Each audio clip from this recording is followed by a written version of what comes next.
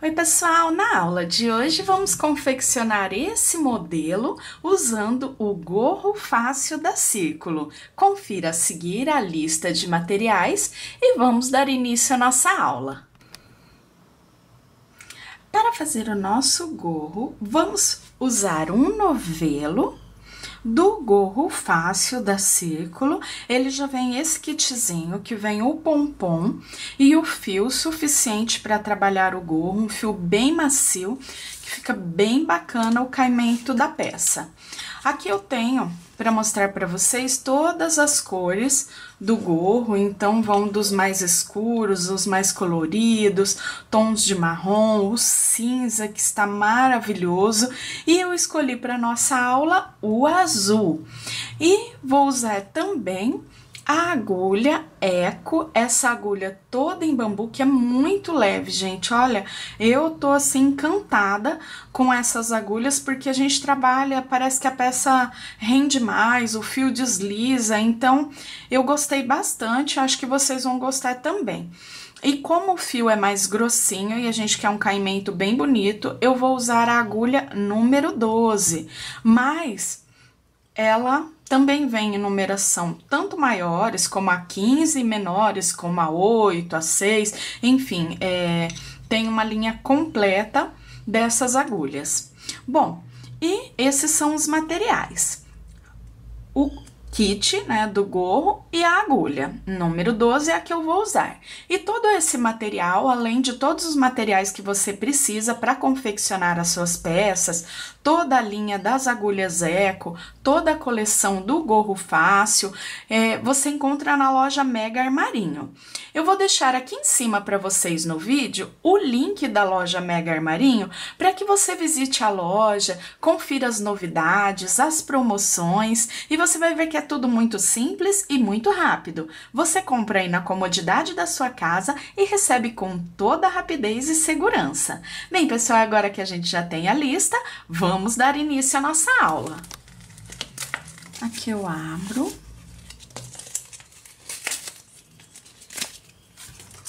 E ele vem com um cordãozinho aqui, um fiozinho, que a gente já amarra o pompom depois. Então, é bem prático, porque ele já vem pronto. Até essa parte, a gente nem precisa se preocupar. No final, vocês vão ver como é fácil a colocação do pompom. E agora eu venho aqui, eu posso tirar o fio de dentro ou de fora do novelo. Olha como a gente já consegue ver o mesclado do azul. E aqui, venho com a minha agulha faço a laçadinha inicial e trabalho uma, duas, três, quatro, cinco correntes. Prendo com um ponto baixíssimo e trabalho aqui até completar 18 pontos altos. Depois que eu completar os 18, eu volto para iniciar a próxima carreira. Lembrando que as correntinhas iniciais eu já conto como um ponto, então 18 no total. Aqui temos três, vou até o final da carreira e volto dando continuidade. Finalizei a primeira carreira, inicio a próxima fazendo três correntes e pego na laçada de trás desse mesmo ponto e faço um ponto alto. Fiquei com dois pontos altos juntos no mesmo ponto da carreira de base. No próximo, só na laçada de trás, um ponto alto. Próximo, dois pontos altos juntos no mesmo ponto da carreira de base pegando novamente, só na laçada de trás. Próximo ponto, um ponto alto. Sempre lembrando de pegar só na laçada de trás, para ficar com esse relevo que dá um aspecto bem bonito na peça. Dessa forma, eu contorno toda a carreira. Dois pontos altos juntos, um sozinho. Dois juntos, um sozinho. Carreira finalizada. Olha como rende super bem. É muito rápido de ser feito esse gorro. Duas carreiras e olha o tamanho. Dois dedos por carreira. Então, aqui, para começar a carreira, como nós vamos sempre ter esse relevo, eu vou fazer o seguinte: eu venho aqui, passo a agulha e puxo o fio por dentro da laçadinha. Aí eu volto nela, puxo e faço a minha corrente. Uma, duas, três correntinhas. Nesse primeiro ponto, é o ponto que trabalhamos dois pontos altos juntos. Então, na laçadinha de trás, trabalho os dois juntos. Depois eu faço um. Se você quiser pegar aqui, ó, não só nessa primeira, mas nas duas de trás, quando a gente olha, ó, tem duas laçadinhas deixando essa primeira. Dois, ele fica mais firme, dá mais resistência ao trabalho.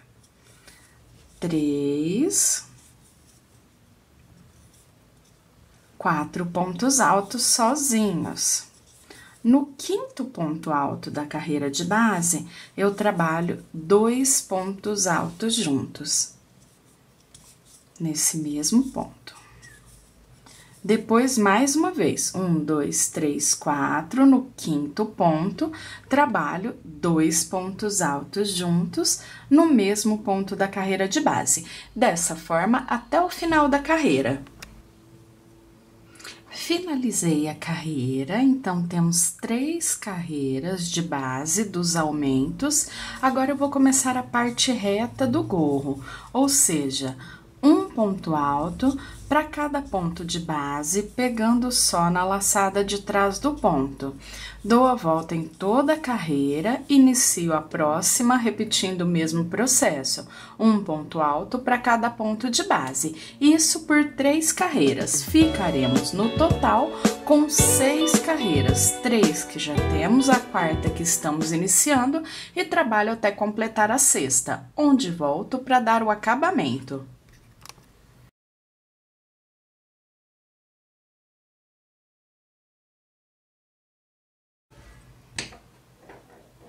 Já finalizei as carreiras da base, olha que trabalhado bonito. Agora, vamos para a barra. Pego aqui, já passo a agulha por trás do primeiro ponto, puxo a laçada. Fiquei com as duas, fecho as duas e faço mais duas correntes. Próximo ponto, passo a agulha vindo pela frente do ponto e fazendo o ponto alto em relevo na parte de trás do trabalho. O próximo, faço o ponto relevo na frente do trabalho, lado direito. Próximo, faço o ponto do lado avesso, na parte de trás. Então, todos os pontos vamos trabalhar em relevo um na parte da frente, um atrás, um na frente, um atrás, circulando toda a carreira. Primeira carreira da barra já finalizada e já iniciei a segunda e última carreira, onde trabalho? Ponto alto em relevo no avesso pelo avesso e o que está no direito mantendo pelo direito, ou seja, seguindo a mesma sequência de pontos da carreira de base, da carreira anterior.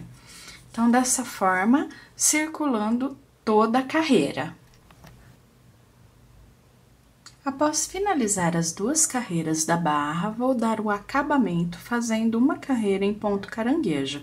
Para quem ainda não fez o ponto caranguejo, é um ponto baixo, mas voltando ao contrário na carreira, ou seja, passo a agulha no ponto anterior entre um ponto e outro.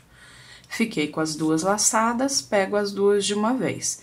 Entre um ponto e outro, no ponto anterior, puxo a laçada prendo as duas de uma única vez e vou trabalhando dessa forma até contornar toda a base do gorro.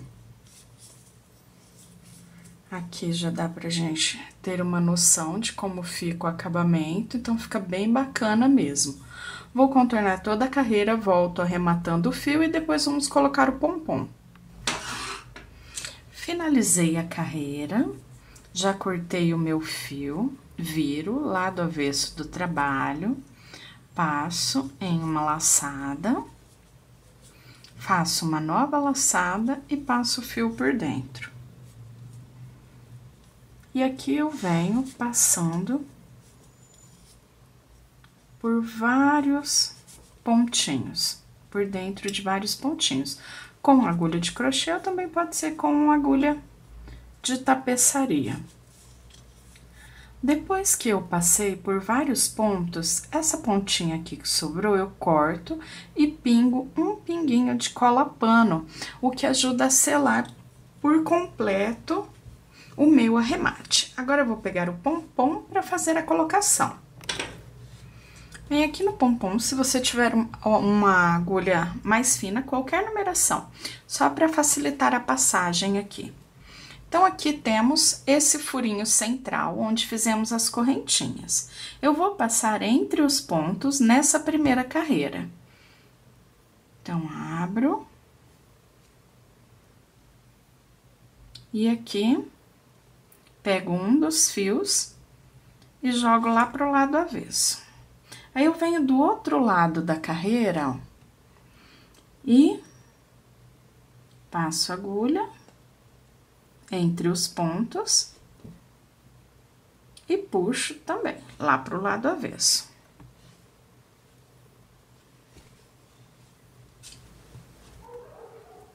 Depois que eu puxei os dois fiozinhos pro avesso, ó, fica um de cada lado da carreira, eu dou aqui dois, três nozinhos bem apertadinho.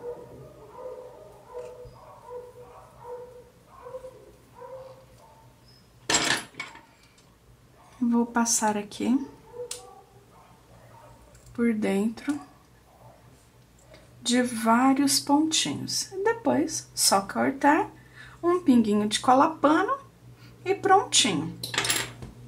O nosso gorro já está prontinho, finalizado. Só cortar os fiozinhos, estará prontinho.